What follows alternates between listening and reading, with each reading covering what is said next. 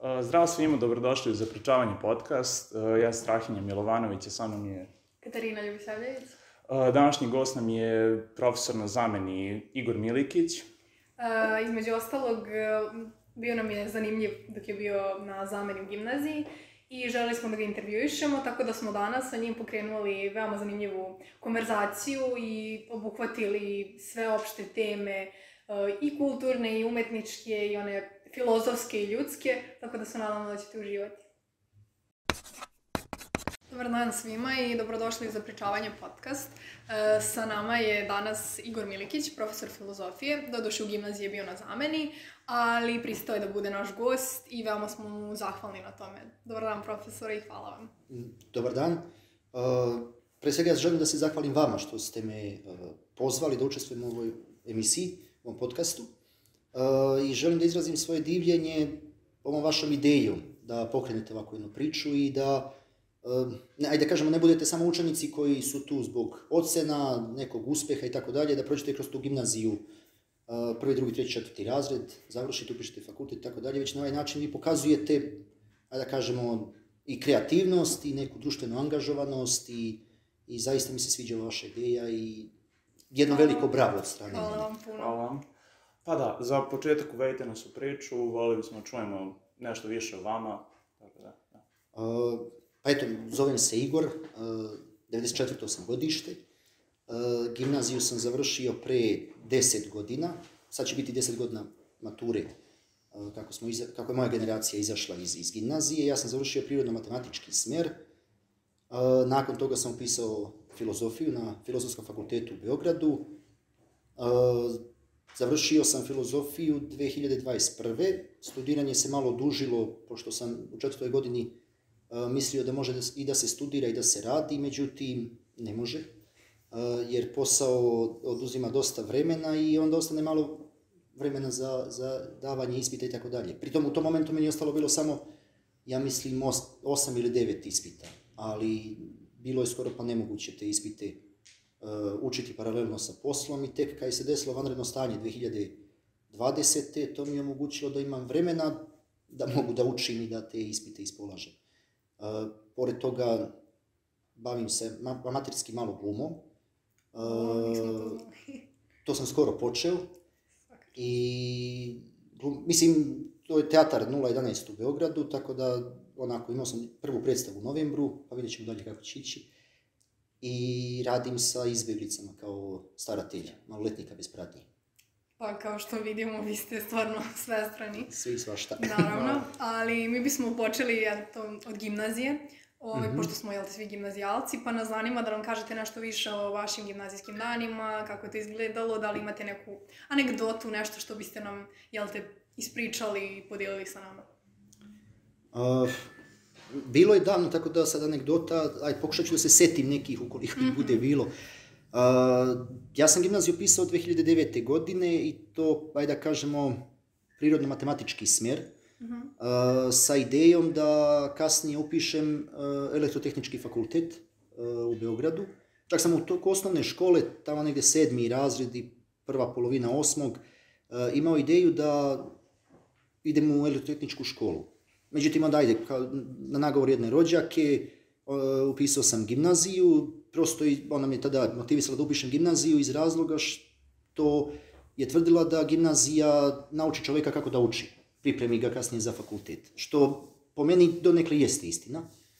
Uh, upisao sam taj prirodno-matematički smer, međutim, uh, u već u prvoj godini gimnazije, ajde da kažemo, ja menjam nekako preusmerenje, odustajem od elektrotehničkog fakulteta, jer nekako shvatam da tehnički fakulteti nemaju duše. Uh, nemaju duše u smislu tehnički su i uh, tu čovjek prosto uči neki zanat. A meni je to u prvoj godini gimnazije počelo su da se javljaju neka opšta, opšta životna pitanja. Naravno. A, želeo sam da ono istražim kako ovaj svijet funkcioniše, šta je to biti čovjek, a, šta je u osnovi svega, tako dalje. Osnovno filozofsko pitanje, šta je u osnovi svega. Jel odatle ljubav prema filozofiji? Ovaj, to- to je se-? To je se kasnije izrodilo. Ajde da kažemo kasnije se izrodilo. E, prvo, u toku osnovne škole ja, na primjer, e, lektire, knjige, generalno uopće nisam volio da čitam. E, to mi je bilo baš onako, ajde kažemo, smaranje. I to totalno. E, nisam volio da čitam i ako mogu da izbjegnem, izbjegavao sam. Međutim, u toku, ajde kažemo, te prve godine gimnazije, to je desila ajde, neka promjena kod mene gdje sam ja zavoleo književnost i, i da čitam i umjetnost, generalno književnost i film. I javilo se, kao što ste re- rekao, ta pitanja. E, matematika i fizika su meni i u osnovnoj i tokom gimnazije išle dobro. E, nekako sam brzo kapirao i volio sam fiziku, na primjer, e, jer na neki način objašnjava funkcionisanje ovog fizičkog sveta, e, dok, e, ok, fizika bez matematike ne može, jer sve te stvari se objašnjavaju na, ajde kažemo, neki matematizovan način, i volio sam književnost, tako da, ajde kažemo, ljubav prema filozofiji se izrodila kao neki spoj Aha. fizike, matematike, umetnosti u, u, u. Svega Pa da, da. nekako mi je pro, pro- prosto povezivala. Recimo sada ja završavam master e, na filozofskom fakultetu i tema mog master rada koji, koji sam prijavio jeste e, filozofski aspekti principa neodređenosti. E, to je iz Heisenbergovog principa neodređenosti iz kvantne mehanike, tako da i dalje Opet spajam spoj, jedno i drugo. da, ja. Pa da.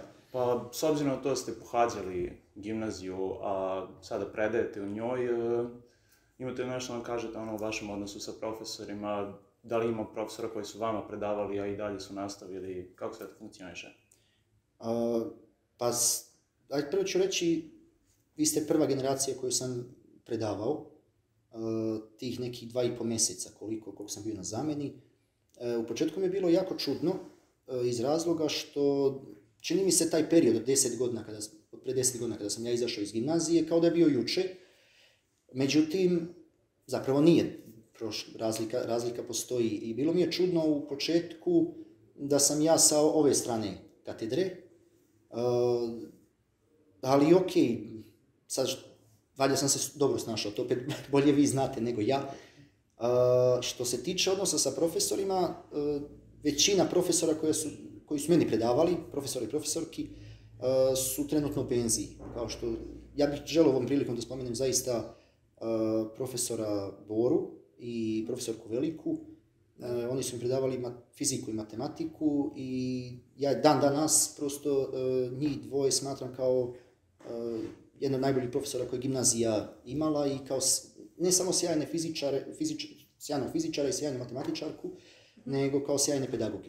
I nama su prvu godinu... Prve godini, da. Tako da... Imali ste da ih vas, upoznate. Da, da, Imali da. smo tu sreću. Da. Doduše samo veliku, ovaj, ne profesora Boru, ali, Da, on je otišao ranije u penziju, tako da. Da, prilike. ali razumemo šta želite da nam I kažete. mi imamo pozitivne uspomene na njih, Mhm. tako da, odnosno na nju, pardon, tako da, da, Da, prosto e, sjajne osobe, pre svega. apsolutno. E, isto profesor Leicht koji mi je predavao filozofiju, on je isto u penziji. Da, E, nažalost, nije nas... Pa da, vi ste, vi ste e, generacija koja je došla nakon što je otišao u penziju. Također sjajan čovjek, e, profesor Karesanović, Jarkovački Smiljka iz Hemije i tako dalje, svi su u penziji. E, tu su ostali znači, profesorka engleskog koja mi je predavala, profesor fizičkog isto u penziji, dakle, profesorka istorije je tu, i srpskog, i to je to. A Izgleda se dosta Pa profesora da. promijenilo za taj kraći period. Pa prosto ja sam bio neka generacija gdje su, ajde da kažemo, bila je ta stara garda profesora Mhm. i onda kada sam ja završio, posle par godina oni su svi otišli u penziju. Ali opet sa ovim kolegama, koleginicama s kojima sam bio u zbornici, e, mogu reći da smo se ono, dobro slagali.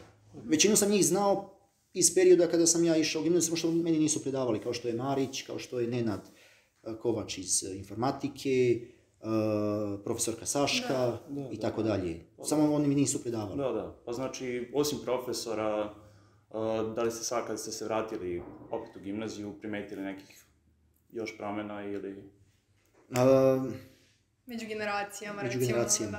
da. da, učenici u odnosu... Pa šta znam, e, problem je što, na primjer, ja sad kada sam išao u gimnaziju, ja sam bio s ove strane katedre, e, bio sam gimnazijalac, e, te nije ista perspektiva kao kada sam ja sad profesor. Te nije baš, skroz uporedivo. Šta znam, čini mi se da nije se desila neka, ajde kažemo, velika promjena, samo što danas je dosta u odnosu na pred tih deset godina tehnološki uznapredovalo. Ja sam recimo generacija koja je prve mobilne telefone dobijala tek u sedmom, osmom razredu, možda čak i kasnije. E, prvi kompjuteri su isto bili tako e, krajem osnovne škole ili u srednjoj tek i tako dalje. E, I prosto pripadam toj generaciji gdje nije bio mobilni telefon samo početka ili kao što je ova korona donela da vi imate online nastavu, to je prosto bilo nezamislivo 2009. 10. i do 2013. godine dok sam ja bio u gimnaziji. Sad je, ajde da kažemo, ta neka promjena. E, I ono recimo što mi se nije svidjelo, ok, to ministarstvo prosvete imate neke ideje, međutim, nije mi se svidjelo recimo ono što su odeljenja podeljena na vežbe, to sam vidio kod vas, to kod mene nije postojalo. E, na primjer, kao što je u trećoj godini filozofija i engleski, odnosno prvi strani jezik se dele, gdje po meni, ok, možda ima smisla za matematiku, fiziku, gdje na tim vežbama mogu da se vežbaju zadaci.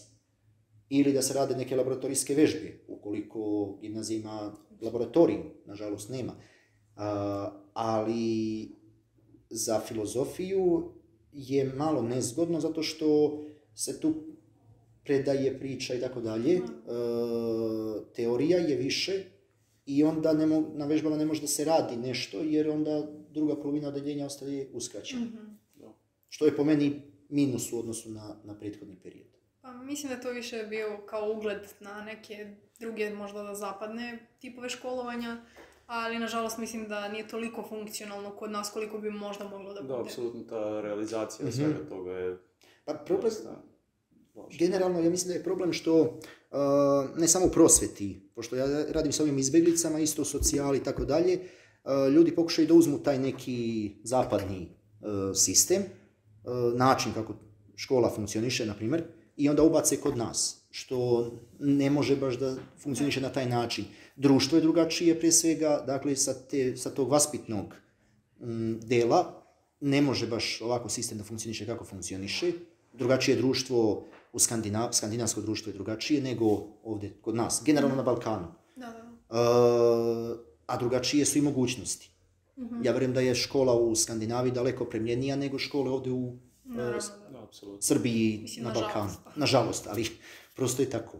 Tako da, e, problem je što ljudi ne gledaju taj kontekst u okviru kojeg se ta škola nalazi, dakle društvo i tehničke mogućnosti, nego direktno implementiraju neki sistem koji postoji na zapadu, koji je ovdje neprimjenjiv. Da.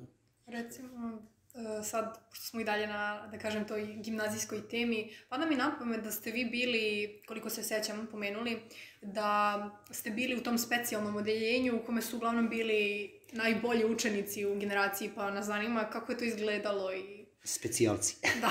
uh, pa to je bilo eksperimentalno odeljenje, a ja kažem eksperimentalno odeljenje. Uh, te 2009. godine kada smo mi upisivali gimnaziju, e, pre toga generalno e, društveni smer je imao veći prosek od prirodnog i tadašnja direktorka je došla na ideju da e, prvih 30 sa spiska po bodovima, dakle iz osnovne škole kad se završ, uradi onaj prijemni ispit, prvih 30 sa spiska koji su pisali nemački jezik, ubaci u jedno deljenje prirodnog smjera. Da bi napravila jedno jako deljenje prirodnog smjera i da vidi prosto kako to funkcioniše. Uh, ajde, ja ću sad reći iz ugla učenika koji je bio u tom odjeljenju. Uh, ono što se meni nije svidjelo uh, jeste što u tom odjeljenju, ajde, ne znam kako da objasnim.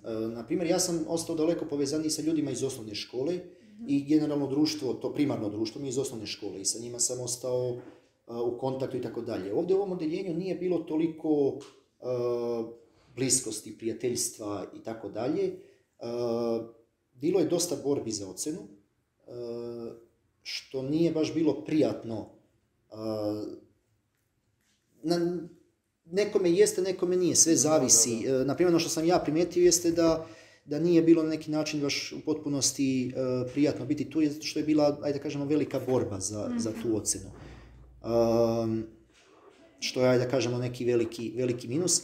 A i dobio sam, tu, ajde da kažem, tu povratnu informaciju od nekih profesora koji su nam predavali, da smo isto na neki način bili naporno odeljenje. E, ne sad zbog discipline, e, nego zbog toga što smo svi bili u fazonu čekamo šta će Da. da predaje i to, Da, to. da, da. Učimo. Ja mislim- Mali štreberčići. Da.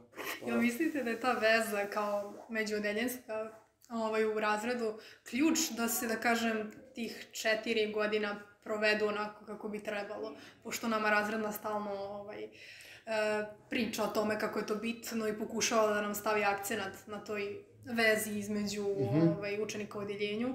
Tako da, jel mislite da je to ono što je ključ da se možda proživi ta gimnazija kako bi trebalo? E, mislim da jeste. Mislim da jeste. Sad, e, zaš- zašto? Zato što e, u toku škole se stvaraju ta prijateljstva, e, naročito, ajde da kažemo, srednja škola.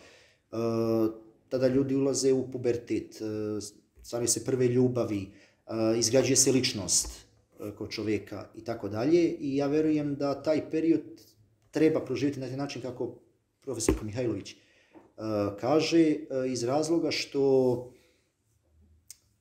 tada zapravo u tom periodu se isto razvija emocionalna inteligencija i jako je bitno stvarati ta prijateljstva e, i graditi, jer to su neke uspomene, barem po meni, koje kasnije ostaju i koji ćemo se rado sećati. Naravno. Ovo, tako da verujem da je, verujem da je bitno.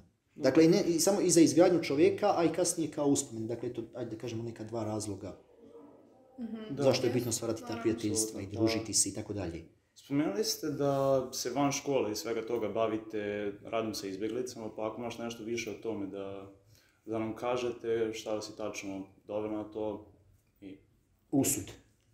Doveo me usud.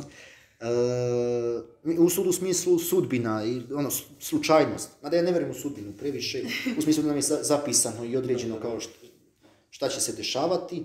Vjerujem na neki način da smo dosta determinisani, ali da nam je zapisano kao desit će ti se to i to, tog dana ćeš se oženiti i udati, upozna- moraš se oženiti i udati sa tom osobom, a imat ćeš toliko i toliko djece, završit ćeš tu školu, e, ovdje ćeš skončati i tako dalje. Baš ne vjerujem u to da je zapisano, da je determinisano, da. E, determinisano u smislu nekih fizičkih i bioloških zakona. E sad, što se tiče tog posla sa izbjeglicama, ja sam došao tu slučajno. E, Ja se, počeo sam da se bavim volonterizmom u gimnaziji četvrta godina kada sam bio. E, Bio sam član kompasa. I ja sam član kompasa, ovaj, tako da razumijemo Aktivni, se. trenutno. Da, aktivni. E, Ja sam čet- u četvrtoj godini gimnazije prošao tu školicu kompasovu. Da. E, I bio sam vršnjački edukator za prevenciju HIV-a. Uh, nakon toga, uh, jedno vrijeme sam bio, ajde da kažem, edukator vršnjački, nakon toga sam počeo da volontiram u Connectingu, ovdje u Pančevu i kasnije, kad, ono, tokom fakulteta, negdje kad sam bio treća godina, meni jedan kolega uh, koji je poznavao jednog druga koji je radio sa izbjeglicama, kad je počela čitava izbjeglička situacija 2015. godine, on je meni rekao kao ako hoćeš možda volontiraš u Beogradu sa izbjeglicama, postoji jedna organizacija e, i sad taj volonterski rad, e, volonterski rad po definiciji je neplaćeni rad i tako dalje. Ovo je međutim bilo na neki način, ajde da kažemo, plaćeno. Nije u potpunosti, ali postojala neka novčana nadoknada. I ok, ja sam se upoznao sa tim njegovim drugom, e, počeo sam da radim tu kao volonter u toj organizaciji u novembru 2016. godine i tu sam bio nekih godinu dana. Neka tu moja zaduženja su bila e, pratnja do kampova, pratnja do bolnica i tako dalje. I onda 2017. godine je pokrenut projekat, e, projekat koji je kasnije nazvan profesionalno starateljstvo. E Sad, kod nas u Srbiji e, po zakonu, porodičnom zakonu i po zakonu o socijalnoj zaštiti, e, postoje dva oblika starateljstva. Zapravo postoje tri, ali to kolektivno starateljstvo, to je već, na primjer, ne znam kada se daje nekom direktoru doma da bude staratelj za svu djecu koja su u domu. Ali uglavnom postoji neposredno i posredno starateljstvo.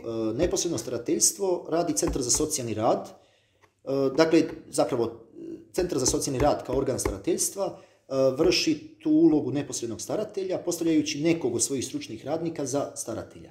i postoji posredno starateljstvo e, gdje se nekom djetetu dodeljuje staratelj za neke, ajde da kažemo, poslove koje se tiču tog djeteta. Da li nebitno, da li pravne, zdravstvene i tako dalje.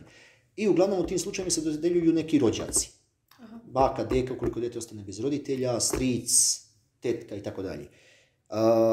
Ideja je bila sa tim profesionalnim starateljstvom da se, omogu, da se ovdje u Srbiji urade izmjene dopune zakona porodičnog i socijalnoj zaštiti, da fizička lica koja nisu stručni radnici Centra za socijalni rad mogu da budu staratelji. Prvo je bila ideja da, se, da to bude pilot projekat i da se proba sa migrantskom populacijom, a kasnije da se proba i na domicilnoj. E, međutim, e, to i dalje ostalo prosto na ideji. E sad, šta je bila ideja? Ideja je bila da Eh, ja kao fizičko lice, na primjer, radim u gimnaziji kao nastavnik, eh, prijavim se, prođem procenu podobnosti, prođem neke obuke i onda mogu da budem staratelj nekoj deci. Dakle, Centar za socijalni rad oddelji mi starateljstva, tu na tom rješenju starateljstva pišu moje zaduženja, obavezi sam da tu djecu obilazim, da te pravne radnje i tako dalje završavamo i da brinemo o njihovim pravima, interesima ličnosti i tako dalje. Eh, što je po meni dobra ideja, jer na taj način Centar za socijalni rad bi se e, olakšao, zato što sada trenutno, barem po nekoj mojoj procjeni, e, stručni radnici Centra za socijalni rad imaju preko 100 predmeta, što je nemoguće da jedna osoba to izvede i mm. nažalost dete, neko iz domicilne populacije, može da se desi da nikad i ne upozna svog staratelja. Ima, stara, na primjer, neko dete u domu,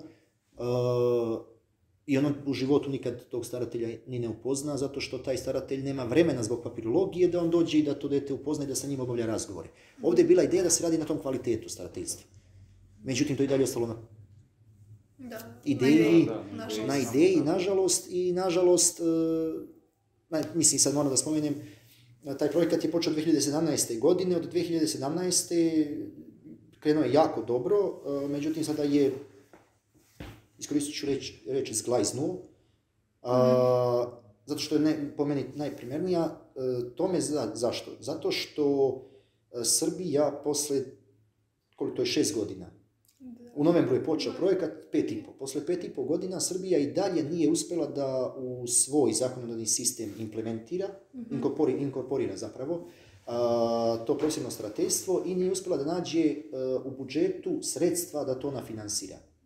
Desilo se pre mjesec i po dana da je Europska unija, pošto se taj projekat trenutno finansira iz fondova za pristupanje Europskoj uniji, e, stopirala je te fondove, iz kog razloga ja ne znam, e, i 50 e, nešto ljudi je ostalo bez posla. I to su saznali danas za juče. Tako da, što mislim, onako prosto, prosto je bez veze. I pritom taj posao kao posao je veoma težak.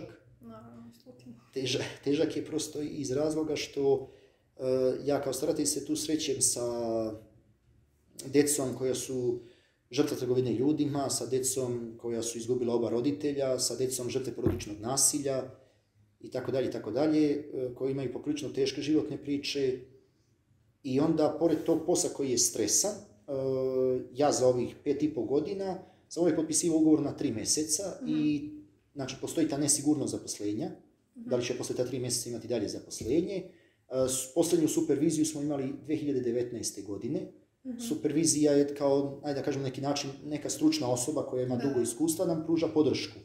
U smislu mi sa njom razgovaramo, pruža nam podršku i tako dalje. Eh, dakle, mi od januara 2020. godine nismo imali superviziju, što je isto ozbiljan problem. E, jer dolazi do prezasićenja, dolazi do sagorevanja na poslu e, usled čitavih tih faktora. Mhm. Tako da ja danas, kako se osjećam na tom poslu, e, volim da radim sa ljudima i nekako imam taj moment u sebi da želim da pomognem koliko mogu i da uh, utičem, ajde da kažemo, na sistem. Jer ja se uvijek vodim nekako, ako čovjek pomogne jednoj osobi, ako je samo plus jedan, to je veći uspjeh. Ne, ne moram ja sad promijeniti svet, sistem, to je nemoguće. Ali ukoliko jednu osobu, jednoj osobi pomognem, to mi je već plus. I zato volim da radim sa ljudima i ovaj posao u gimnaziji isto nekako ima smisla. Da. E, radi, opet radim sa ljudima, tako da opet, da kažemo, mogu da utiče na nekoga da razvije kritičko mišljenje kod sebi. Ako, jedna oso- ako jednu osobu navedem da razvije kritičko mišljenje, što je zapravo i svrha filozofije, uh, ja mogu da smatram da sam uspio. Na neki način vi ste povezali taj posao sa filozofijom. Otprilike. To je, to je baš... Sa praktičnom filozofijom. Naravno, naravno. Ovaj, Pa dobro, onda recite nam kako, da li je na vas ostavio neku sliku taj rad sa ljudima, otprilike, rekli ste nam da ono radite sa ljudima koji su bukvalno izgubili sve, koji su dolaze vam, ne znaju za svoju sudbinu, da li će, ono, bukvalno jesti sutra i sve to, ono, kako na vas to sve utiče? Pa prosto utiče, e, mislim utiče, jer radeći sa ljudima, čovjek te ljude upozna. Dakle, uglavnom sam imao dečake pod starateljstvom, e, devojčice koje su bile bez pratnje roditelja su uglavnom koleginice, prosto zbog aj, ono, e, polova. Imam sada trenutno jednu devojčicu pod starateljstvom, ona je tu sa bratom, tako da uglavnom kažem, ono, sa ovim dečacima, neke od njih poznaje već pet godina. Oni su dalje ovdje u Srbiji, ok, sad su punoljetni, nisam im više staratelj, Uh, ali poveže se čovjek sa njima i uh, to su ljudi. Ni, ne radim sa mašinama, oni imaju osjećanja, ja imam osjećanja. Uh, slavili smo 18. rođendane. Uh, pravili smo jednom i veritbu u Centru za azil Krnjača. Uh, pratili smo neke koji su i preko procedure za spajanje porodice, ukoliko im neko od roditelja u inostranstvu išli. Bilo je tu i suza i smeha, i od strane njih i od strane mene. I nekako, ja kako gledam na taj posao jeste, uh, meni bi bilo drago da ti dečaci, uh, s obzirom da im život nije pružio toliko, uh, zapravo život im je dosta toga oduzeo, da oni pokažu tu neku, to ja i njima isto često govorim, da pokažu uh, snagu, zapravo da pokažu zlu u ovom svetu, da su jači od tog zla i da mogu da se izbore protiv tog zla i da mogu da uh, pokažu koliko su jaki i taj neki njihov uspeh gleda na taj način, kao a, neko nivelisanje pravde u ovom svijetu. ne- Smatram ovaj da. svet poprilično nepravednim. Kao što Kiš kaže, na ovom svijetu nema pravde ni među ljudima, ni među mačkama. Da, kad smo kod pravde i kod Danila Kiša, jednom prilikom ste nam u mailu ovaj, napisali, kad ste nam poslali poslednji mail. Ovaj, Sa ocenama ostalo. Da. Da. Uh, pa sam baš to htjela da vas pitam, je li to neka knjiga za koju ste vezani i to i da li ta pravda ima veze sa vašim poslom i ovaj, ču, pomenuli ste na času jednom i ekstremizam, pa kao da li ovaj, vi ste najbolje upućeni u ovaj taj pravedni sistem, pa nas zanima eto, da čujemo i te ekstremne slučajeve i sve što ovaj, možete da nam kažete o konkretnim primjerima vašeg posla. Da, ovaj posao sa izbjeglicama. Mislim, e, to da sam upućen toliko u taj pravedni sistem i šta je pravda i tako dalje, to i dalje istražujem. E, Na neki način ja sam i ono, otišao da se bavim filozofijom, e, želeći da pronađem te neke odgovore, malo prije što sam spomenuo na ta neka opšta ljudska pitanja, životna, e, gde je pravda u ovom svetu. E, ajde da kažemo, ranije sam tu, ja tu negde pravdu pronalazio uh, u teologiji, zapravo u tom postojanju Boga. Uh, nisam spomenuo da tokom gimnazije dok sam bio, ja sam želeo da upišem teologiju na kraju, na kraju školovanja.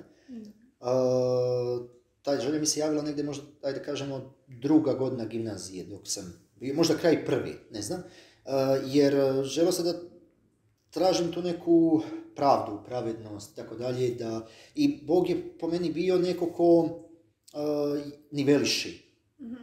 Postoji jako puno nepravde na ovom svijetu. Naprimer, uh, sad ovaj zemljotres što je se desio u Turskoj i u Siriji, uh, rat u Ukrajini uh, i tako dalje, rat ovdje u Jugoslaviji, holokaust za vrijeme drugog svjetskog rata, uh, žrtve fašizma, nacionalizma i tako dalje, nacizma. Uh, gde su ti ljudi koji nisu bili za taj rat, koji nisu mrzeli nikoga, koji su želeli da pomognu, a stradali su u tom, u tom ratu.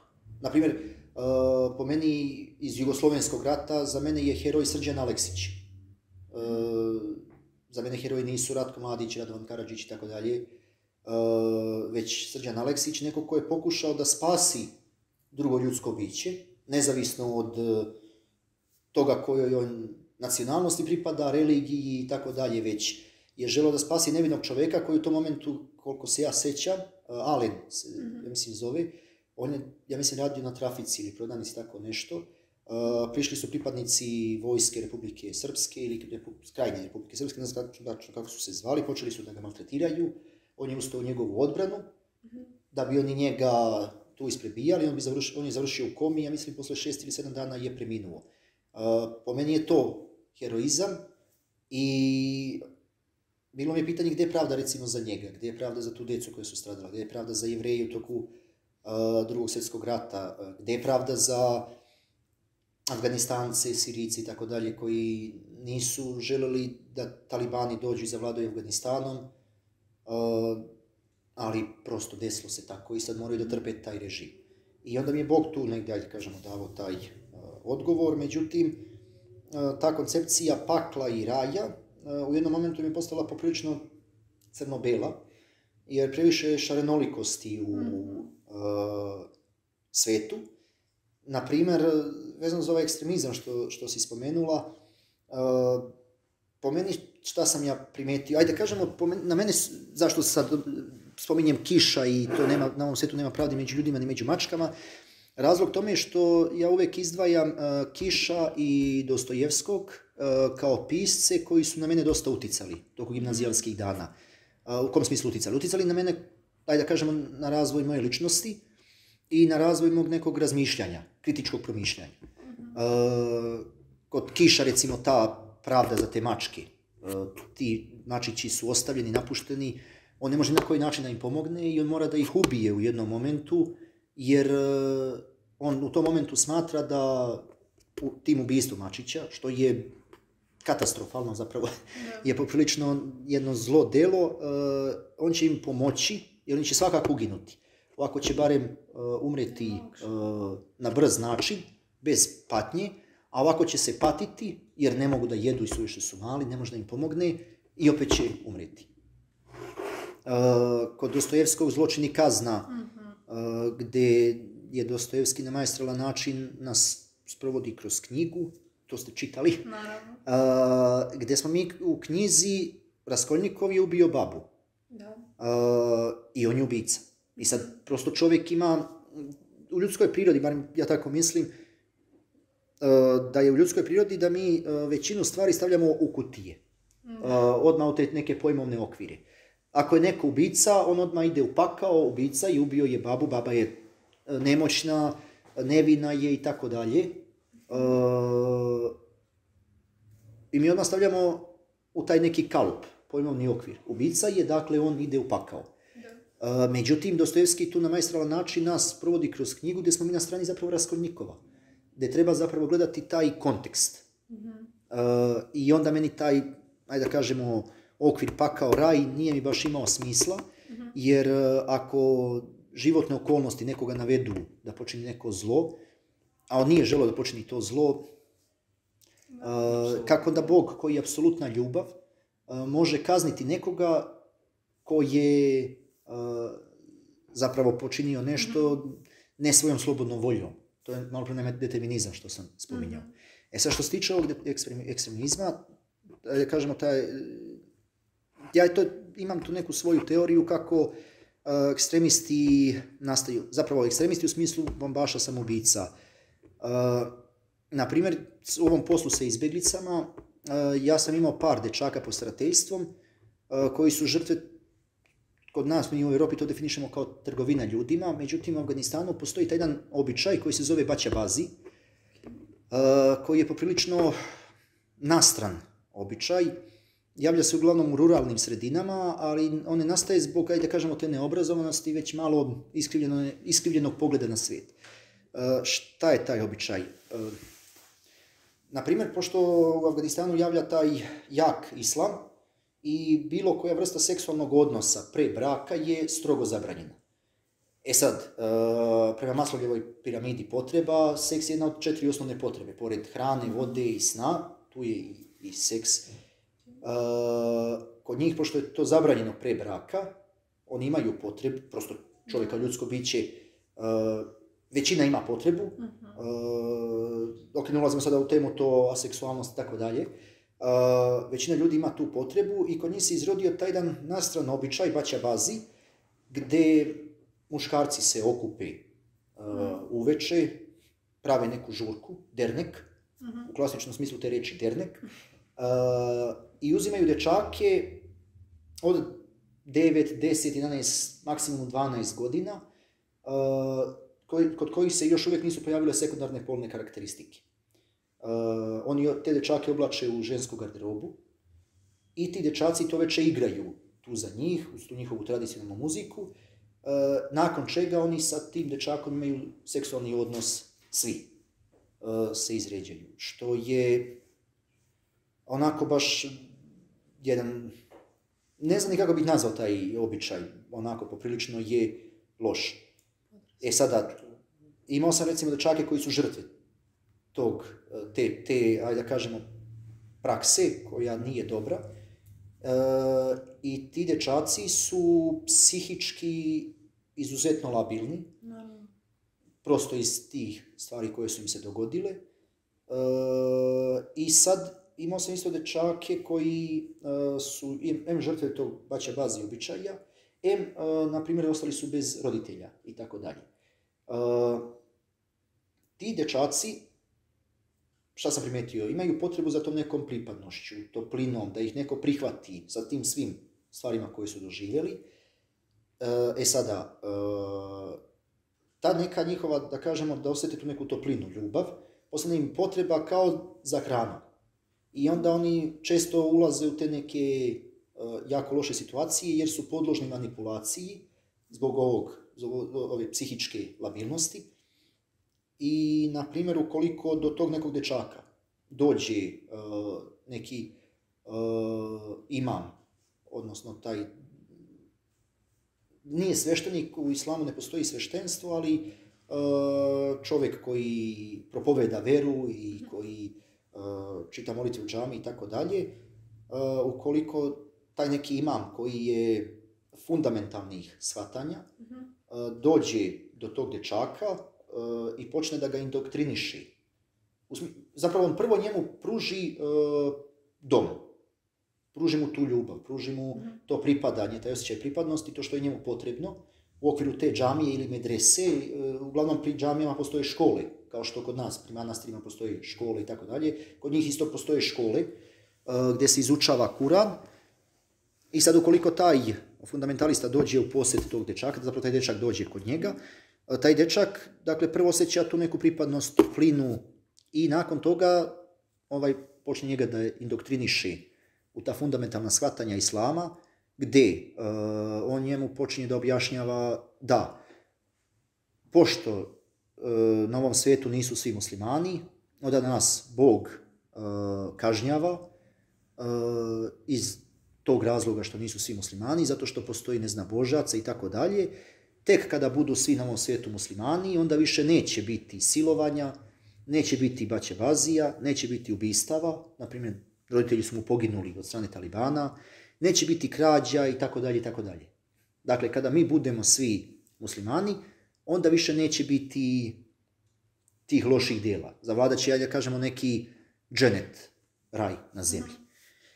Uh, taj dečak prosto podložan manipulaciji, nakon nekog vremena on usvaja ta shvatanja koje njega ima muči i u jednom momentu taj dečak će otići u neki evropski grad i razneti se kao bombaš samoubica. E, ali neće on to raditi zato što je zao čovjek ili zato što želi nekome da naškodi. Dakle, njegov primarni motiv nije ja želim da vas uništim.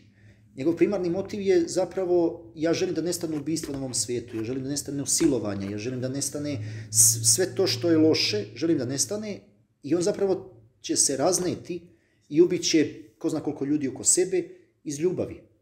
Verujući da on time čini jedno dobro delo. Verujući da tim svojim samobistvom uh, on zapravo pravi put ka svetu u kojem su svi muslimani, u kojem neće biti svih ovih stvari.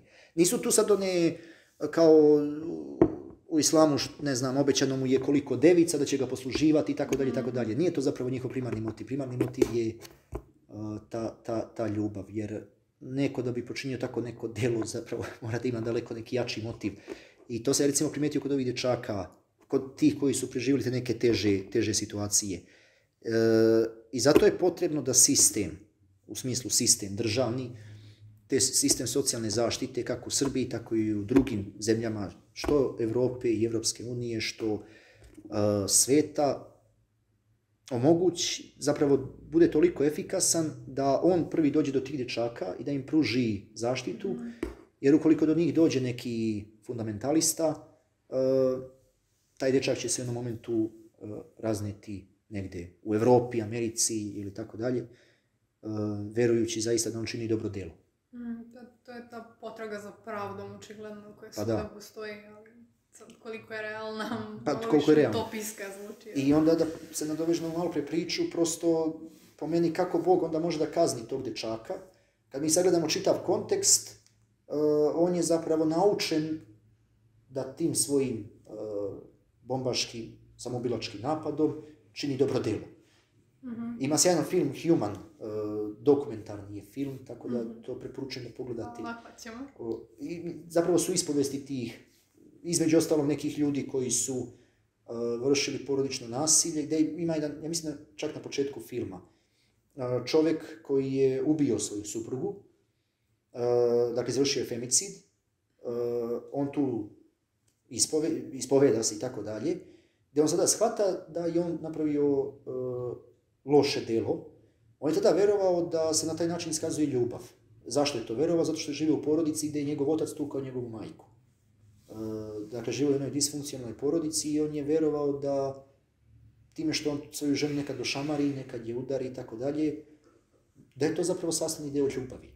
On je nju volio, svoju suprugu, ali e, način odrastanja, vaspitanja i te neke sistem vrednosti kojima je bio usađen nije baš bio, e, ajde da kažemo, ispravan.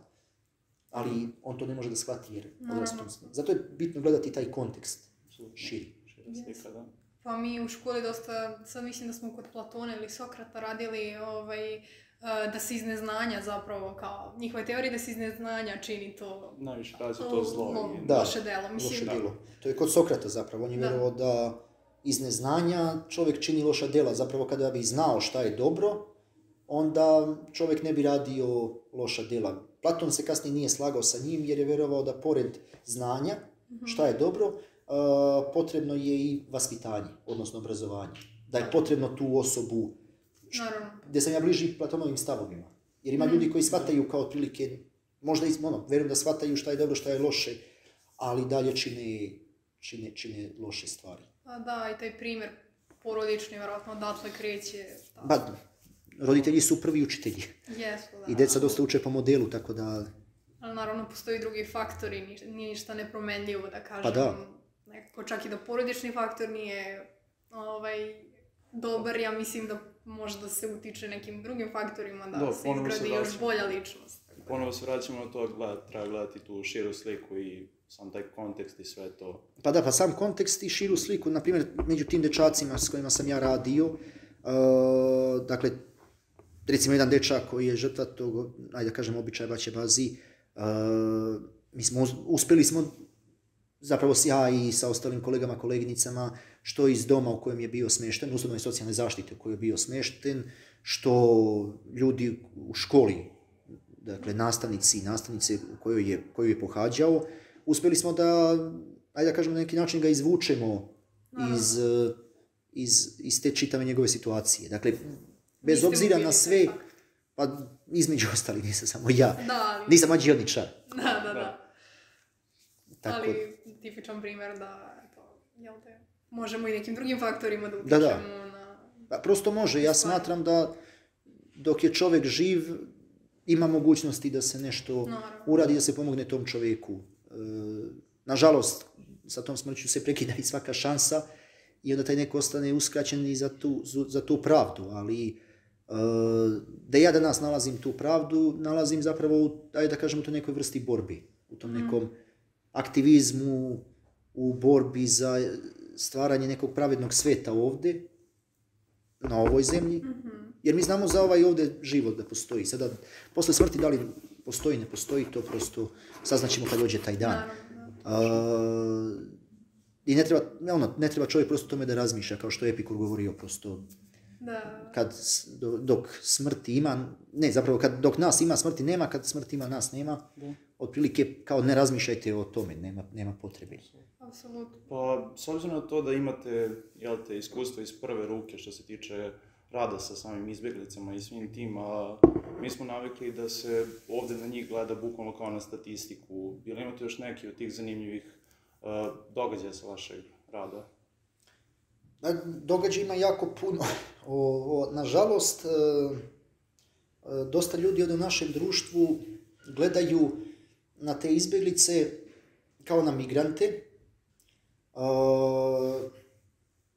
gledaju kao na migrante koji su tu došli da siluju, da otmu naše žene, da otmu naše poslove, kao migranti koji će nas uništiti, upropastiti, koji će ovdje uvesti islamski kalifat i tako dalje i tako dalje.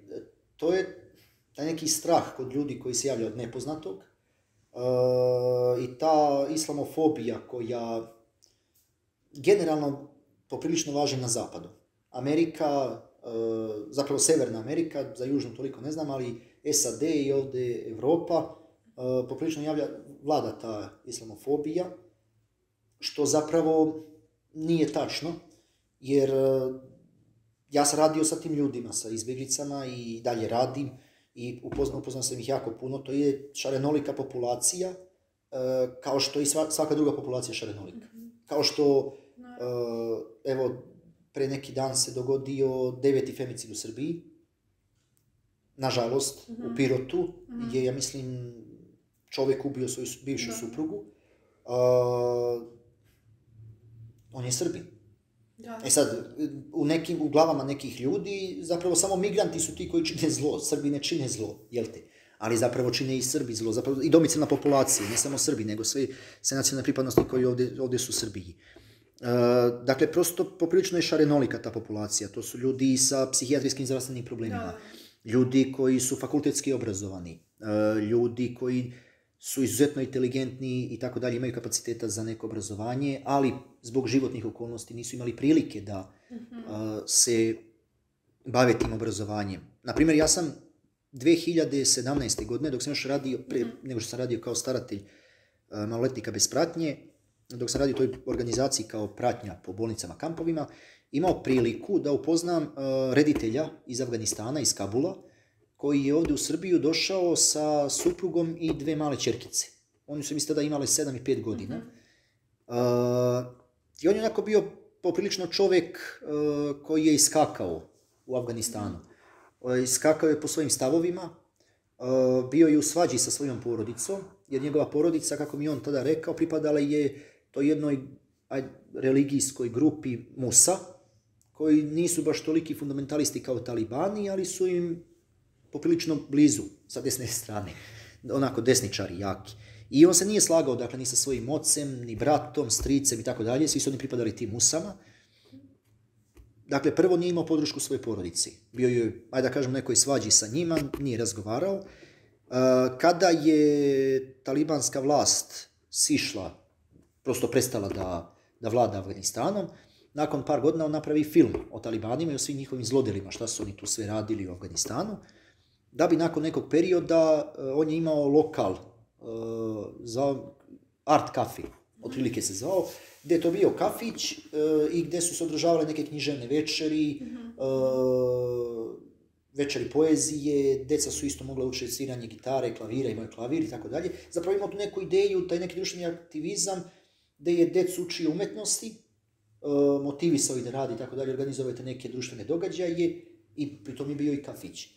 E, I jednog dana taj kafić odletio u vazduh. Postavljen je eksplozij, bomba i odletio je u vazduh. Talibani su mu zapretili jer je snimio taj film e, protiv, protiv njih. Zapravo talibani u Afganistanu nikad nisu ni nestali. Iako su oni srušeni sa vlasti, sad ne tačno koje godine, ali oni nikad nisu ni nestali u Afganistanu. Postojali su i do dan danas i evo sad su opet preuzeli vlast. Vršili su te neke sitnije... Zapravo neke delove Afganistana su oni kontrolisali, vlada e, nije uspjela da e, uspostavi kontrolu nad tim teritorijama, a negdje su samo vršite neke napade. I on je došao ovdje u, u, u Srbiju, pobegao je od čitave te situacije. I onako zaista sjajan čovjek. E, I prosto čovjek u ovom radu sa izbjeglicama ima tako prilike da upoznate neke ljude e, koji utiču i na mene. Mene isto kao čovjeka promene. E, naprimjer, danas e, dvojica, dvojica dečaka koji su bili pod mojim starateljstvom, dakle bez pratnje, uh, upisali su fakultet, sada su već druga godina na fakultetu primjenjenih umjetnosti, jedan je na slikarstvu, drugi na kostimografiji ili tako nešto. Nije zapravo kostimografija, to je modni dizajn. Ne znam tačno kako se zove smjer. Da, Uh, pohađaju fakultet, tako da od njih dvojice, pritom ovaj jedan dečak, on je bez roditelja. Mhm. Uh, mi je izuzetno drago da su oni ovdje došli i uspjeli da završe, završe te škole. Dečak koji je upisao slikarstvo, on je u Srbiju došao kao nepismen. Uh, nije čak znao ni na svom maternjem jeziku da se potpiše i da piše. Uh, možemo reći da je prvi put uzeo lovku u Srbiji. I tu je psihološkinja koja je radila sa njima u toj kući u kojoj je bio smješten primijetila da on ima izuzetan talent za crtanje i za likovnu umjetnost generalno i onda smo ga prosto ajde, usmjeravali da ide ka tome. I eto, zahvaljujući opet e, pomoći i UNHCR-a i DAF ili DAF i fondaciji iz Njemačke, ne znam točno kako se zove, to je neka fondacija Albert Einstein, e, uglavnom Nemci, oni plaćaju školarinu ovoj dvojici dečaka, jer opet Srbija nije mogla da im Da. obezbedi školovanje, iako su oni prvi maloljetnici bez pratnje koji su upisali fakultet ovdje, iako su zapravo jedini za ovih uh, 8 godina od 2015. Naravno, među migrantskom izbjegličkom populacijom postoje i ljudi koji su kriminogenog ponašanja.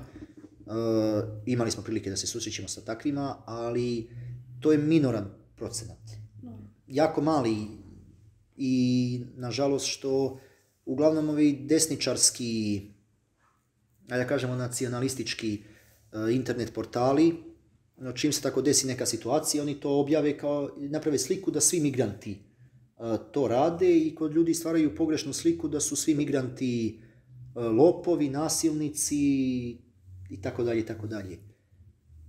Što je po meni kod ljudi se stvara baš Pa Da, to je pogrešna kod slika. nas isključivo crno ili belo, ne Da, da. postoje kod naših ljudi, ovaj, da kažem, te među nijanse drugih boja, što je kod Apsolutno, da. A A za- mislim, spomenuli ste da je dosta uticao na vas lično taj rad, pa možete više o tome da nam kažete kao kako ste se osjećali pre nego što ste krenuli sa svim tim Kako ste napredovali kao da, da, emotivno. vidite li neke promjene na sebi?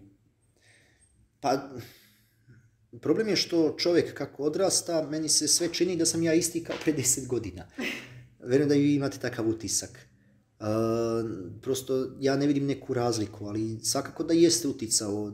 Ja sam tog stava da svaki kontakt uh, u životu, nebitno koliko mali taj kontakt bio, menja čovjeka Naravno. uh, i utiče na čovjeka. Stava sam to, ona Platonova rečenica Pantarei, zapravo ja danas koji ovdje pričam sa vama i vas dvoje, mi sutra već da se sretnemo nismo isti ti ljudi. E, Iz razloga što ćemo danas e, doživjeti neke stvari koje će uticati na nas, promenit će nas prosto, imamo barem neke nove informacije, ako ništa drugo. Pročitat ćemo vesti, imamo nove informacije i već smo drugačiji. Tako da taj rad sa izbjeglicama jeste uticao. E, nažalost, sada se kod mene, onako kako se ja osjećam, e, sve više vidi taj negativan aspekt ovog posla, ali negativan aspekt prije svega zbog sistema. E, ja uvijek kažem, mene ti dečaci, jeste to stresan posao, e, jeste jako puno teških priča, ali imam, primećujem kod sebe taj moment sagorevanja na poslu, ali dobrim delom je taj moment sagorevanja na poslu nastao zbog sistema, Naravno da ne zbog Kako? ljudi. ne, ne zbog tih ljudi sa kojima radim, nego zbog sistema koji e, ne pruža podršku niti njima, niti radnicima koji rade sa tom djecom. Mhm. Ne pruža toliku prostu podršku. Kao što sam rekao, mi superviziju nismo imali e, tri godine, Da. što je, što je jako dug vremenski period i što je jako veliki minus e, za, taj, za taj rad. E, tako da, to, to, nekako u posljednje vrijeme više mi se taj negativni aspekt ističe. Ono što bih rekao pozitivno uh, jeste pre svega da radeći sa ovim ljudima, ja sam sigurno jesam razvijao kao ličnost, kao osoba, uh, upoznao sam kulturu koju čovjek prosto ne bi nikad vjerovao da će sresti i uživo upoznati. Uh, dakle, upoznao sam ljude iz Afganistana, imao sam kurde pod starateljstvom, što iz Sirije, što iz Iraka, imao sam Arape pod starateljstvom, e, imao sam pod starateljstvom ljudi iz Burundija, iz Afrike, iz Sirije, Arape i tako dalje. Što na neki način, ajde da kažemo, mene kao osobu sigurno je razvilo emocionalno. Jeste ovaj posao kao posao, e, jako puno imam tih momenta, mislim, prosto kada se radi sa ljudima, e, neka moja teorija jeste da čovjek ima tu jednu emocionalnu bateriju. E, emocionalno socijalno. Koliko je danas zapravo mogu interakcije napraviti sa ljudima. Tokom 2018. 19. godine, tada smo imali otprilike po 50 od njih pod starateljstvom. Tada, recimo, meni je bilo jako teško da održavam kontakte što sa devojkom, što sa prijateljima, što sa porodicom, iz razloga što ta moja baterija u radu sa izbjeglicama se potroši i onda kada dođem kući meni treba neki mir. Mhm. Malo da se rehabilitujem. Da, napunite bateriju. Da napunim bateriju. A mislim, ja jesam takav tip osobe gdje ono, neki put mi prija e, tišina, neki svoj mir, da bih ja te baterije napunio. Ne bi to sada da li ću ja da sedim na terasi i gledam u drveće kako se njiše i pijem kafu, ili ću e, da pustim neki film pa da gledam i kao e, odmaram, rehabilitujem se, ili ću samo prosto da sedim i onako promišljam o tome šta se danas desilo, ali taj neki način mi uh, treba. Tako da to je isto neki negativan Da. aspekt. Da, da. Ali ti neki pozitivni svakako jesu izvežna prijateljstva. Mogu reći sa, sa, ne- sa nekim dečacima sam prijatelj. Uh, dosta dečaka koji su otišli u Europu, obav- jave se, pitaju kako sam, čak i nakon 3-4 godine, što se više nismo sreli, Da. Nismo se vidjeli, oni su otišli prije 3-4 godine, e, poša- pitaju kako sam, kažu ukoliko dođem u Pariz, Belgiju, London, tako da imam gdje da prespavam, da ih posjetim, da se javim obavezno. Recimo, jedan dečak iz Belgije me je zvao pre 4-5 mjeseci i kao, ajde uzmi avion, rezerviši kartu, dođi e, kod mene da se malo družimo, da vidiš ovdje Belgiju. On je sa ocem u Belgiji otišao preko spajanja porodice, procedure za spajanje porodice i tako, onako, prilično nekih lepih priča je i uh, lepih i uspomena, na primjer, ja sam išao, vodio sam ih 2019. godine na Koponik, ekskurziju koju je finansirao UNHCR, gdje su oni bili sa djecom iz Crne Gore, eh, Hrvatske, Bosne i Hercegovine eh, i Srbije, sa domicilnom populacijom, bilo je njih- osam dečaka i ja, bilo je tu svega i maskembala i zaljubljivanja i alkohola, naravno, kao i na svakoj ekskurziji. A, ali bilo, bilo je jako lepih uspomena i šala i tako dalje. Pa spomenuli ste to ste pod starateljstvom imali dečake raznih nacionalnosti iz različitih Mhm. kultura i sve to, pa da li ste nešto naučili od njih ili ste njih vi nešto naučili, imate neku zanimljivu anegdotu što se svega toga tiče ili... Pa, ajde da kažemo, naučio sam arapsko i persijsko pismo od njih. Wow.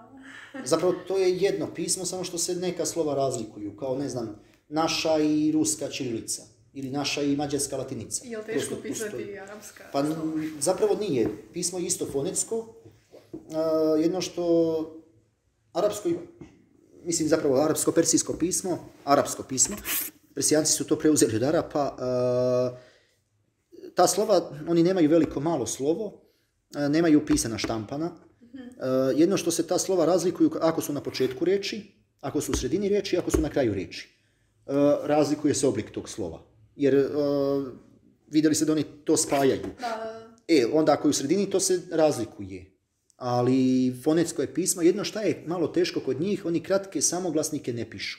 Izostavljaju kratke samoglasnike. Dugi su tu, ali kratki samoglasnici se izostavljaju. Recimo salam, kao reč za zdravo, oni to pišu s, l, a, m. A ovo salam, to kao neko e, a, između s i l, je kratko, ali se ono ne piše. E sad, ok, za to se lan, laka je reći i tako dalje, ali je problem kod čitanja onda, dok čovjek ako ne zna jezik, baš ne može da zna kako se ta riječ izgovara. I arapski je poprilično težak e, jezik, s obzirom da je M semitski, M e, dosta imaju ovih grlenih glasova koji su teško, teški za izgovor. Mhm. Da je mene jedan momak iz Palestine učio, nisam uspio da naučim te grlene glasove. Ok, izvedem tada, ali ja već sutra da ne mogu da ga ponovim. Pa znate pismo i to je ne. Pa to, to je barem nešto. I znam nešto malo persijskog. Uh, to sam naučio sa njima. Bio sam upisao kurs persijskog 2019. u Iranskom kulturnom centru na Filološkom fakultetu u Beogradu. Imaju tu saradnju. Međutim, onda se desilo vanredno stanje korona i prešlo je na online uh, kurs. Međutim, meni to nije odgovaralo i prekinuo sam. Nažalost. Da, da, da. Ali definitivno taj kulturološki moment je jako bitan i To da. pomenuli ste i umetnički moment, da se bavite e, glumom, a i koliko se ja sećam, svirate gusle. Pa nas zanima nešto malo, Malo. o toj umetničkoj strani, da i to čujemo za kraj, ako nije problem. Uh, nije. Uh, pa eto, glumom sam počeo da se, mislim da se bavim. Mm, 2020. godine, opet to vanredno stanje, korona i sve to, nešto nakon toga kad je prošlo, maj je bio, ja sedam na terasi kod kuće, pijem kafu i zove me drugarica. I treba joj glumac za neki, za film koji je za prijemni na FDU. I ja sada njoj baš rekao, dobro, Jovana se zove, dobro Jovana, ono kao, ok, nije meni problem da ti pomognem i vrlo rado, ali ja ne znam da glumim. Nikad prije toga nisam se bavio glumom. I ona insistira kao, ne, ne, ja mislim da ćeš moći ti to. Ja mislim da ćeš moći, ja mislim da ćeš moći i ok, ja pristanem. E, I nakon toga sam još jedan 2022. dakle sad prošlog leta, e, jedna devojka ovdje iz Pančeva isto snimala film koji je još uvijek u montaži. E, Crno-beli je zidanje skadra. Čekamo da izađe iz montaže pa ćemo vidjeti kako je to sve ispalo. E, to je, ajde da kažemo, neki drugi put da sam se bavio glumom. E, gdje su mi jedna i druga rekli da imam talenta. Kao, ono, ima smisla. I meni je bilo interesantno. Jako mi je bilo prijatno. I e, taj film 2020. gdje smo snimali, ja sam tu glumio starijeg čovjeka, čak sam imao i šminku isto, e, pravljenje bora, seda kose i tako dalje, tako da je to či- bio čitav proces. Jedno dva sata šminkanje, pa nakon toga snimanje, pa onda uveče skidanje Da, čitave da, da. te maske i tako 3-4 dana. E, za ovaj drugi film Zidanje skadra nije bilo toliko šminke, ali bilo je da sam, ja ja sam jedan, jedan od Neymara i treba da se isprljam. Tako da je bilo tu ono pravljenje masne kose, znojave, da. prljava majica, prljavo telo i tako dalje. I onda sam video, zapravo drugarica mi je poslala koleginica sa fakulteta, jesenas, e, da Teatar 011 u Beogradu, to je studio glume u Beogradu, e, organizuje audiciju za prijem novih članova, prijavio sam se i e, tu su me primili na toj audiciji, tako da za sada eto, bavim se malo glumom, pripremamo jednu predstavu, sada Pola Pola se zove, e, Gdje će se održati? u- u Akademiji 28 u Beogradu Nemanjinoj, e, 22. marta. Tako sam da, pozvani. jeste. Slobodno, slobodno dođite. Ovo, I kogod može da dođe, nek dođe. Valjda će biti ok. A pored toga, eto, sviram gusle malo za svoju dušu, pošto ja potičem, rođen sam u selu pored Brodareva, e, to je opština Prijepolje, sama granica sa Crnom Gorom. Tako da vučem te neke crnogorske kor- korijene. E, I onda se za svoju dušu bavim malo guslanjem. Je li teško svirati? Pa nije, mislim, nisam sad toliko vičan, ali kad čovjek nešto voli, ja vjerujem da nije teško. Zapravo čovjek kad nešto voli, bilo koji posao i bilo šta da radi, e, prosto nije teško. I ja ne znam, isto jedan od razloga što, zašto sam upisao filozofiju jeste išao sam za onim što volim. E, nisam nikad gledao s- kao šta je perspektivno u životu baviti se, jer jedan je život koji imamo i posao oduzima jako puno vremena. To je 8 sati rada dnevno, zakonski naravno. Uglavnom ljudi rade i više da bi mogli da obezbede sebi egzistenciju zbog sistema koji nije baš sjajan. I onda ako ja potrošim 8 sati rada dnevno na poslu, pritom putovanje, onda čovjek i kad dođe sa posla, nije baš to ono kao imam privatan život, ja se isključim od posla. Zapravo taj posao postane jako bitan deo života gdje čovjek i u svoje slobodno vrijeme razmišlja o tome i onda ja sam se vodio time, ne želim da se bavim nečim što meni neće prijati, samo da bih eto imao neku bolju egzistenciju, bolju perspektivu u životu, a onda taj jedan život koji mi je dat, e, zarobim sebe nekom svojom voljom, negdje gdje nisam to ja i ne, to nešto mi ne prija. Znači niste pogrešili što ste upisali filozofiju? Pa nisam, mislim, nisam. Ja isto, profesor Light je to rekao e, jednom prilikom na predavanju, e, šta god da uradite, kajat ćete se. Tako da, čovjek, zapravo uvijek postoji ta neka opcija, ali ja vjerujem da, ono, manje se kajem sada nego da, više bi se kajao da sam upisao neki od ovih perspektivnih mm fakulteta. Da, da. Pa spomenuli ste nam e, na času jednom da, da su vam prijatelji dali nadimak čovjek faza, pa možete o tome nešto više nam kažete, mm koje ste sve to faze prošli? Uh, da, čovjek faza. To, to mi prijatelji tako uh, šale se sa mnom. da, i to jesam spomenuo. Pa to je normalno što sam spomenuo kada sam upisao gimnaziju, ja sam želeo da upišem teološki fakultet i u tom periodu gimnazije bio sam, ajde da kažemo, jako religiozan, pobožan čovjek. I redovno sam išao u crkvu i taj, imao sam taj moment to, ono, pak, pakao i zapravo Boga kao viziju nekoga ko niveliše pravdu. Kasnije, kad sam upisao fakultet, ok, taj teološki fakultet bilo nisam upisao teološki fakultet, pres prvenstveni razlog je bio, ja danas kažem na sreću, što sa, da bih upisao teološki fakultet, neko da bi upisao, mora da dobije odobrenje od nadležnog vladike, mm episkopa. Ja nisam dobio taj blagoslov, odobrenje, tako da je to bila, da kažem, neka srećna okolnost, gdje sam otišao na filozofiju, jer ne znam, možda bih vamo bio skraćen za neke mm vidike, možda bih E, također, način na koji crkva, Srpska pravoslavna crkva funkcioniše, e, meni kao meni se ne sviđa, to čovjek kasnije tek vidi, jer opet čovjek sa 19 godina mlad je da bi se to video, saznao i tako dalje. E, ne sviđa mi se što, na primjer, određene vladike koji, za koje postoje dokazi da su seksualno zlostavljali, uznemiravali dečake, što ih crkva krije iza, iza, iza, iza svojih dveri. To mi se ne sviđa, konkretno. Ponovo imamo uh, sličan faktor pa da, u toj priči. To mi, to, mi, to mi se ne sviđa. Konkret, pre, pre svega jedan razlog. Uh, ne sviđa mi se to što religija kao religija treba da bude, ne trebaju nama zlatni putiri, zlatni krstovi od po tri kile zlata. Sasvim drveni krst je dovoljan da bi se ispovedala ta neka vera i tako dalje. Ali čovjek faza su me prozvali iz tog razloga što tokom fakulteta ja sam malo prosto, ajde kažemo, promenio te vidike. Uh, to je bilo negdje kraj gimnazije, početak fakulteta, rekao, Dostojevski kiš su dosta utjecali na mene, neke životne okolnosti, uh, gdje sam ja vidio da taj pakao i raj nema smisla, previše je to crno-belo za voliku šarenolikost među ljudima i onda sam ja zapravo uh, taj ateistički pogled na sve tokom gimnazije nije imao smisla, jer uvijek se pitao kako, ok, e, ja sam vjerovao i tada u gimnaziji da neko ko je ateista, neko ko je i druge veroispovesti, ne mora da bude pravoslavac, on će ići u raju koliko je dobar čovjek.